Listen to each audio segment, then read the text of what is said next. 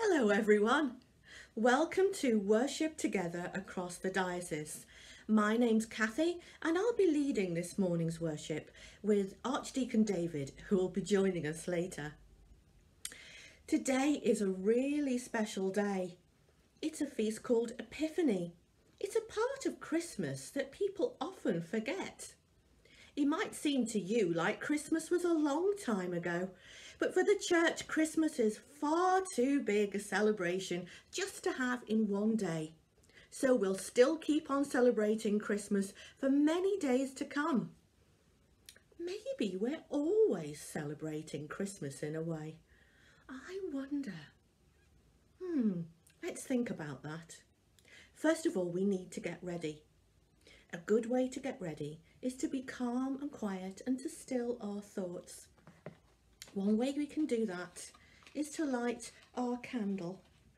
So as we do that, let's be really still and think about the light of God welcomed among us even now.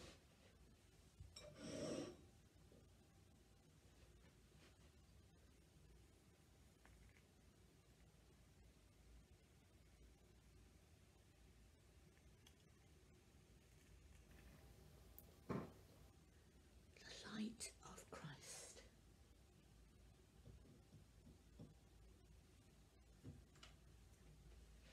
Greet one another. There's a way of doing it in the church, you may know this. When I say, the Lord be with you, you say, and also with you. Shall we do that? The Lord be with you, and also with you. That's great. We might be ready to start. Are you ready?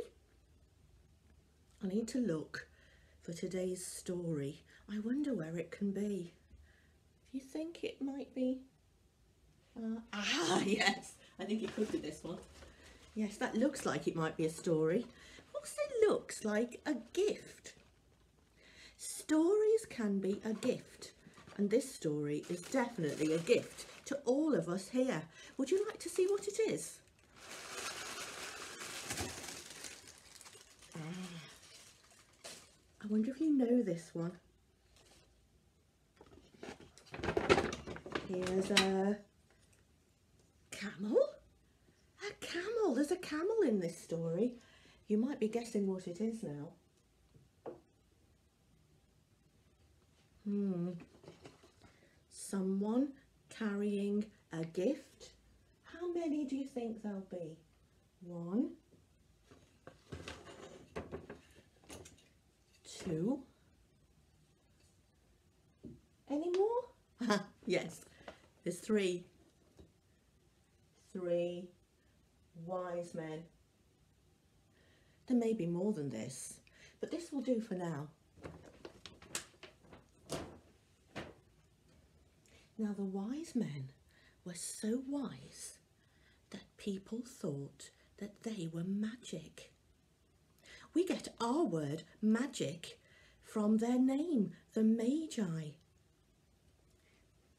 They were so wise that people thought that they were magic. But of all the things they knew, they knew the most about the stars. One night, they saw the wild star it was not on any of their star maps. It did not just stay put, it moved. Well, they were curious and they decided to follow it.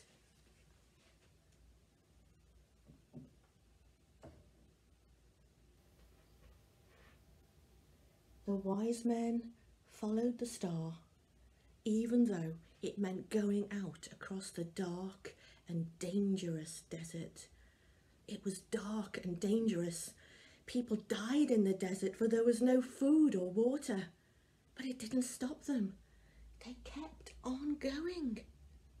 It was hard in the desert, but they did not stop all the way until they found what they were looking for. I wonder what that might be. Let's take a few moments to stop and to think about that journey. Think about journeys you've made. Think about journeys you might make in the future. Are they hard? Are they easy? What might you find at the end? I wonder about that. Let's stop and think.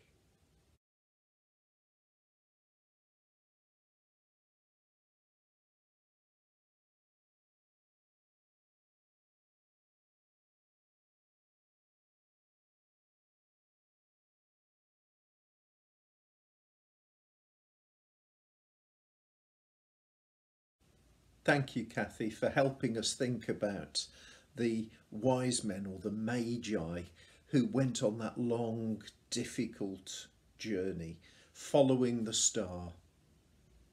I wonder what happened when they got to the end of their journey. Well, there's a song about it, isn't there? We Three Kings. They got to see the special king who'd been promised, Jesus, the Messiah, the special one. The reason we call this festival Epiphany is because it means a revealing. That's what Epiphany means in a language called Greek that's very ancient language, still spoken today, but a very ancient language. And Epiphany means to be shown or to be revealed. And so, what the wise men discovered when they went on that long journey was that Jesus, the special king, the Son of God, the one who was to be revealed to the world. That's what they found.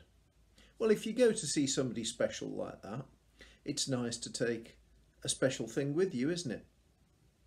And you probably remember this, but they took some special gifts, one of which was gold, just like this bag. I hope you've had some nice gifts or presents at Christmas time. This is why we give presents at Christmas because of their visit to Jesus. When they went to see the special one, the king who'd been promised, Jesus who changed everything forever. They took in very special gifts of gold, frankincense, and myrrh. They all meant something very significant for each one of them. But I wonder if you were going, what would you have taken as a gift? Could be any number of things, of course. When the shepherds went, a song, which we'll think about in a minute, they might have taken one of their little lambs. The wise men took their own gifts for a particular reason, but I wonder what you'd take.